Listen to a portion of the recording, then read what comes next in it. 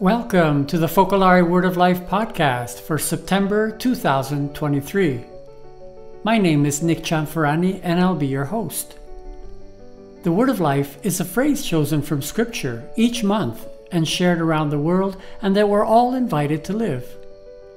The experiences that we're about to listen to in this episode relate to the Scripture phrase, Every day I will bless you and praise your name forever and ever taken from Psalm 145, verse 2.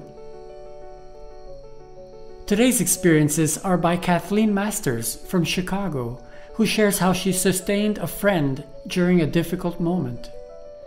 Susan O'Gara from Florida tells us about a seemingly disastrous car trip and how she ended up being a blessing to people she encountered along the way. And after a challenging relationship with a friend at school, Emma Alonso from Gainesville, Florida, shares how time was a healer.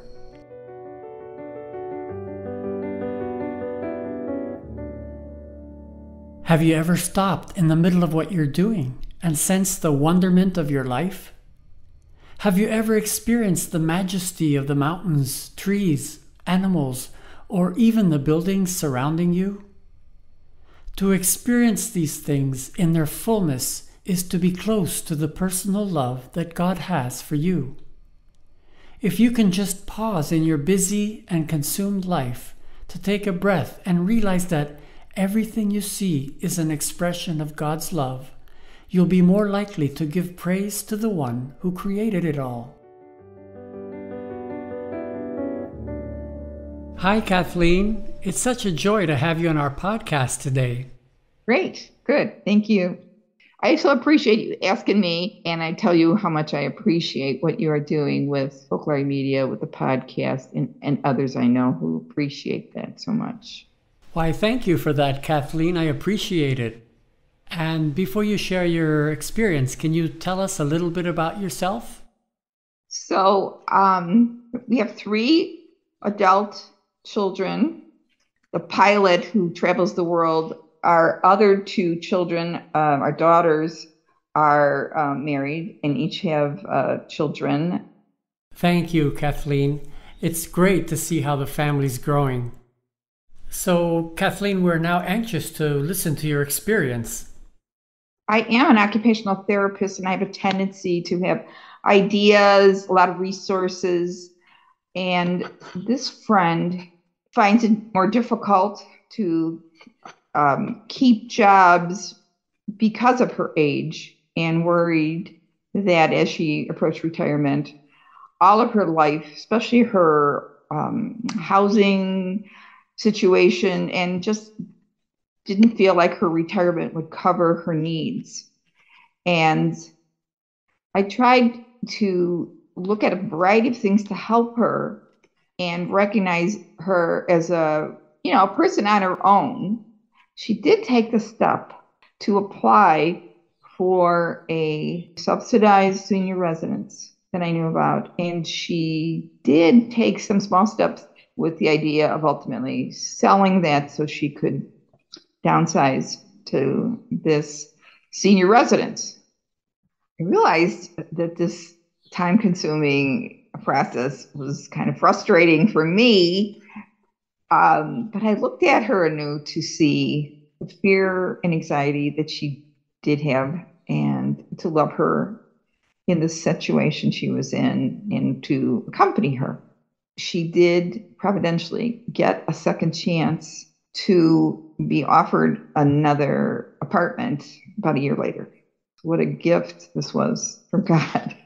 She clearly felt the love of being taken into this Franciscan residence as the love of God for her has created so much more security. And she feels free to help the others like she has been helped. And all of these setbacks and choices have made her so much stronger. And for me too as as a sort of life like when you look at this point of the psalm every day i will bless you and praise your name forever and ever Beautiful. Thank you for joining our podcast today. It has been a great pleasure having you with us, and uh, I hope we can connect again very soon. Great. Good. Thank you.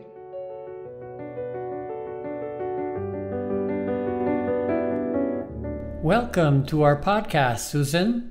Oh, and I am so thankful that you asked me. I have a dear friend with me who is blessing me with her presence. And what is the name of your friend?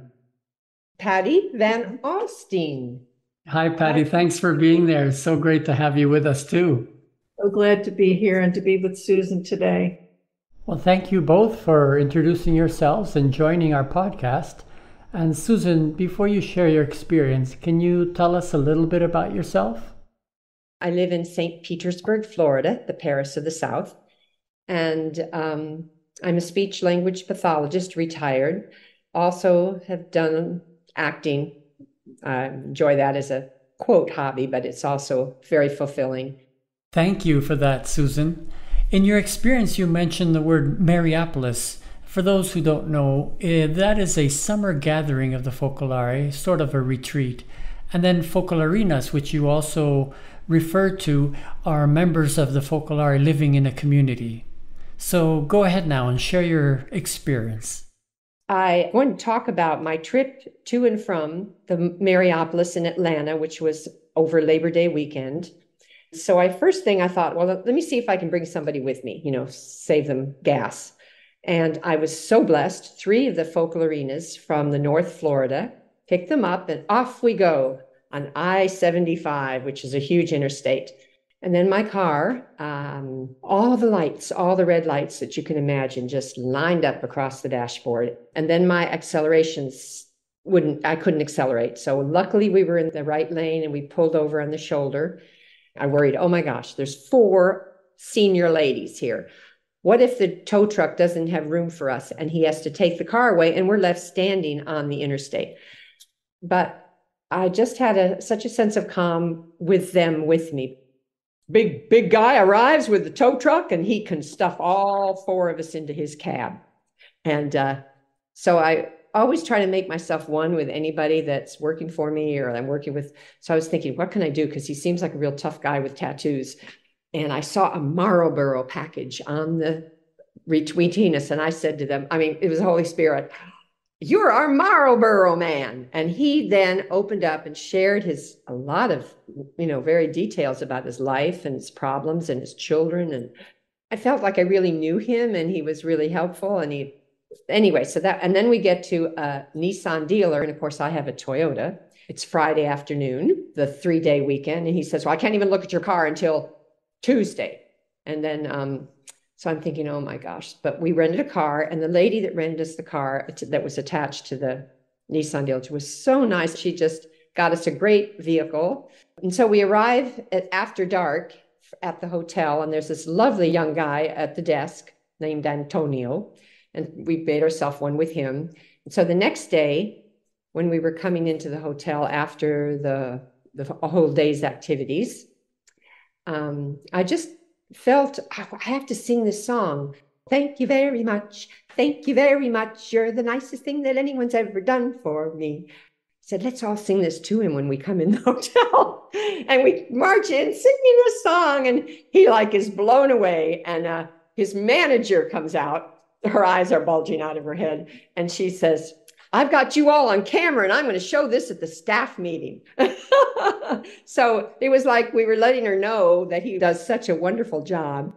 And then God was so good to me because they found out in the afternoon it was a water pump that needed repair. They had to get a part from Toyota. They said might be done by five on Wednesday. And I thought, oh my gosh, I'm going to have to find a place to stay in Atlanta. And God blessed me again. Then uh, headed home and more blessings occurred. And then I thought, who else can I visit? And there was a retired woman in her 90s who used to be in our Word of Life in St. Pete, and she's now living in Ocala by herself in a in a in an independent living. Very few people ever get over to visit her. So I called her, and it was further out of my way. It was going back north for about a half hour north. But I called her and I got to go visit her, and she was so thankful, and I was so thankful. God works in amazing ways when things that you think are going to be problems if you love and if you reach out. It was just an adventure. Thank you, Susan. I was impressed how you found a way to love both the tow truck driver and the motel clerk. It was truly a way of giving praise to God. Thank you, Nick.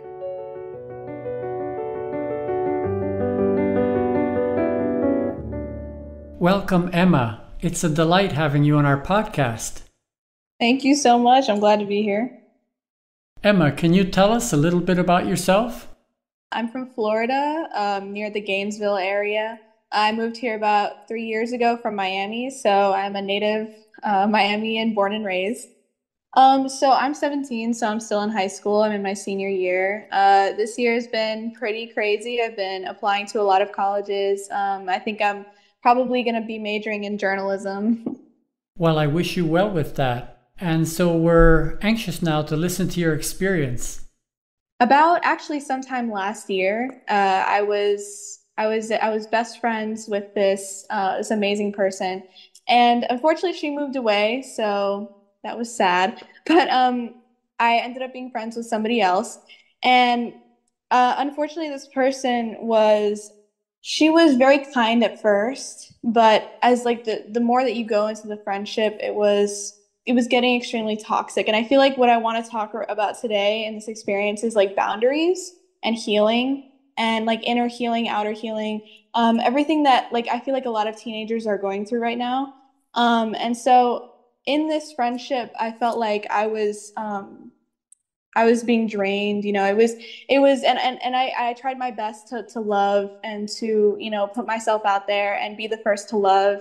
But um, unfortunately, it was just getting a little bit too much for me and also the people around me. So I took my initiative to step away from that friendship, unfortunately, and take some time to myself and like rethink what I was doing with that friendship and where it was going. And like, unfortunately, uh, this person was going through a lot of turmoil in their life and they needed people to be with them. And I was with them for as long as I could possibly be without subjecting myself to more negativity. So I feel like identifying that you're in a toxic relationship or that you're in a toxic friendship is the first step to healing and also being able to help that person better. So what I did is I stepped away from the friendship I took a breath. I reevaluated my priorities. I said, okay, is this really the direction that I want the friendship to keep going in? So I stepped away. She stepped away as well. We took a long break. And actually, the other day, um, we actually have a class together this year now. And on the first day of classes, I saw her and she looked so much better than, and I could feel it in her energy. I could feel it in everything and I felt completely changed as well. So to like to be able to see her step into that new era of herself, to step into that new vitality of her was amazing. And in that class, we reconvened, we said hi, we went back, you know, to hey, like what's going on? You know, what's up? How was your summer? And it was incredible because there was such a change and there was such like a concrete growth in us, in both of us, that I don't think we ever truly could have achieved if we had stayed in that toxic friendship along with all the other people that we were with. Thanks for sharing your experience with us, Emma. It's truly a blessing, and I would say reason to give praise to God for how things worked out. Yeah, of course. Thank you so much for having me. So, thank you for joining us today. I hope you have been inspired by the wonderful stories shared, and I look forward to being with you again next month. A special thanks to Tom Rowley, who helped me produce this podcast, and for his introduction. To listen to a reflection and commentary on the Word of Life, just go to the previous episode of this podcast. I invite you to join me each month for new episodes. You can also read additional experiences in Living City magazine. Please consider making a donation to Focolare Media so that we can continue producing inspiring podcasts. Visit give.focolare.us. That's G I V E dot F O C O L A R E dot US and look for the Focolare Media tab. Thank you in advance for your support. Bye for now, and God bless. The Word of Life is translated into approximately 90 different languages and dialects, reaching millions worldwide through print, radio, TV, and other media. There are special versions for children and teens as well, which you can find at livingcitymagazine.com. This podcast has been brought to you by Focolare Media.